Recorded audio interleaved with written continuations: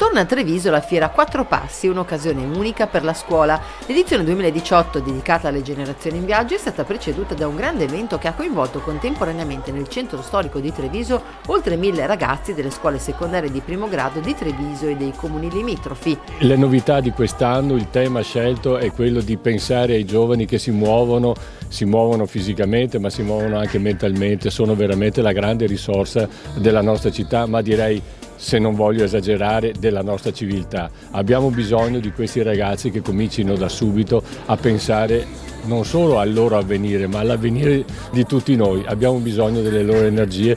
Eh, Fiera Quattro Passi ha intercettato perfettamente questo bisogno. Noi abbiamo organizzato una giornata proprio dedicata ai ragazzi delle medie e ne abbiamo chiamati mille da tutte le scuole praticamente di Treviso e anche della provincia di Treviso e li abbiamo divisi in due gruppi. Un gruppo è andato a vedere uno spettacolo sulle migrazioni al teatro comunale, un altro gruppo invece ha partecipato, diviso in 20 classi, a 20 laboratori organizzati proprio dagli espositori della Fiera Quattro Passi passi.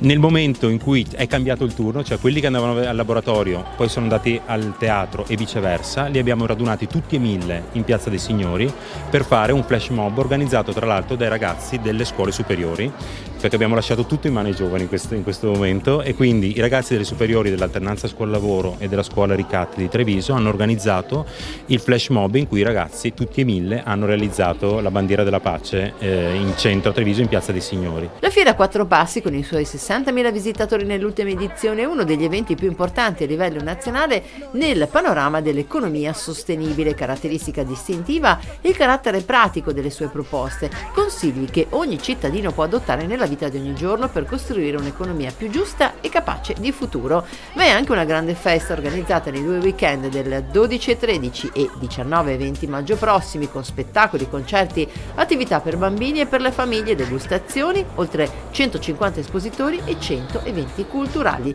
Tutto a ingresso gratuito in un grande parco chiuso al traffico.